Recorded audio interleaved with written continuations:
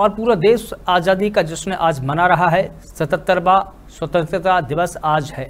अल्मोड़ा में भी स्वतंत्रता दिवस पर विभिन्न विद्यालयों में विद्यार्थियों ने देशभक्ति के नारे लगाए और प्रभात रैली निकाली। इस दौरान जिल विधायक मनोज तिवारी, बीजेपी जिला अध्यक्ष रमेश बहुगुड़ा समेत अन्य जनप्रतिनिधियों ने शिरकत की। इस मौके पर विधायक ने कहा कि देश आज़ादी के स्वतंत्रता संग्राम सेनानियों की बदौलत ही हमें आज़ादी मिली है। वहीं अल्मोड़ा ज़िले का स्वतंत्रता संग्राम में अहम योगदान रहा है।